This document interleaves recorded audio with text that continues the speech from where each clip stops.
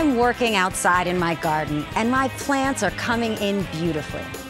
As gardeners, we spend a lot of time outside, pruning, weeding, watering, and harvesting. For me, it's a must to stay protected from the elements.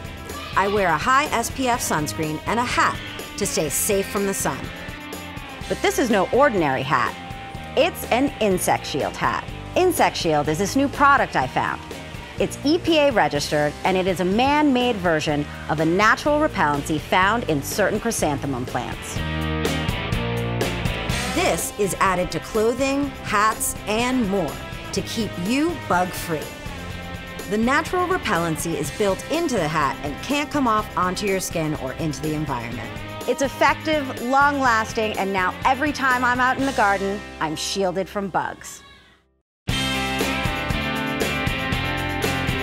My daughter loves gardening with me, but she hates bugs.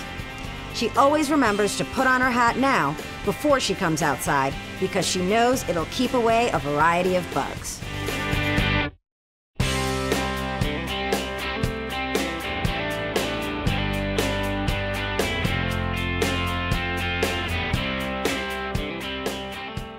Insect Shield repels ants, flies, chiggers, midges, and best of all, mosquitoes and ticks that can cause Lyme disease, West Nile virus, and other dangerous diseases.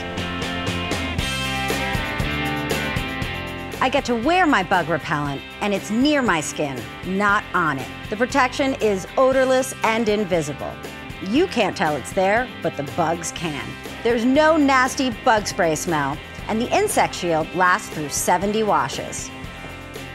Now I can be a garden warrior and stay protected with Insect Shield.